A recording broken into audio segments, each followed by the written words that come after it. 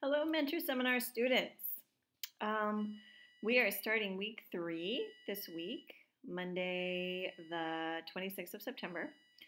And this week we'll be looking at our portfolio, starting our portfolio. I know some of you have already begun this, but others are just starting, and that's okay. Wherever you are in the process is fine. Um, but please do sign up for that portfolio and then take your STAR 360 test if you haven't already done so.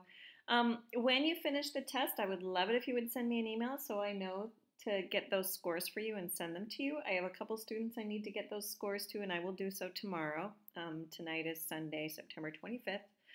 Um, just a quick heads up I know some of you haven't been checking in regularly for Mentor Seminar, and I want to give you a quick warning about that.